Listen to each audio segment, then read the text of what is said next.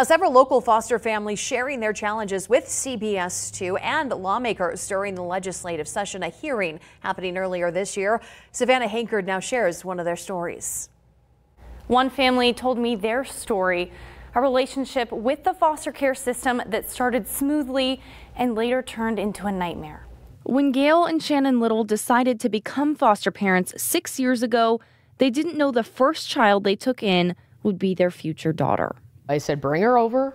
We're gonna, you know, figure the rest out tomorrow, the next day. And what's it been now? Over five years? Shortly after adoption, Gail's cancer diagnosis put their journey on hold, but they were ready to help as soon as she was in remission. She just starts telling me about this little boy that's already in a foster home, but they don't want to adopt. They need a pre permanency family. With the intention of permanency, the connections they made were strong. He called me mom.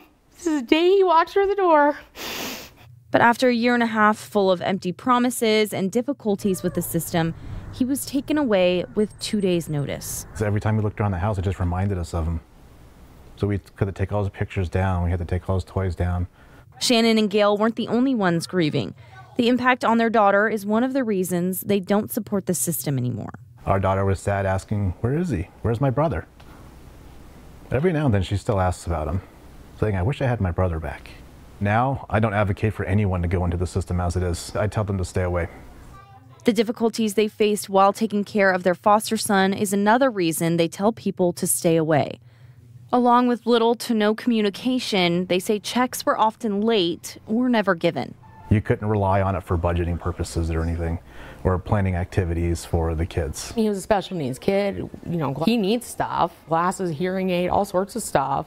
Like many foster parents, the lack of transparency and the fear of backlash is something that they dealt with. It felt like whenever she came over, it was an interrogation. It was never a conversation. The Little say these problems are why foster parents in Idaho don't last long, and they hope to see changes. It would be nice to see legislation in Idaho granting a Bill of Rights for foster parents.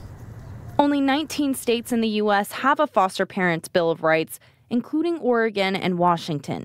Each bill is similar in stating their rights to dignity and respect, as well as the rights of input in a foster child's permanency plan and access to department personnel 24 7.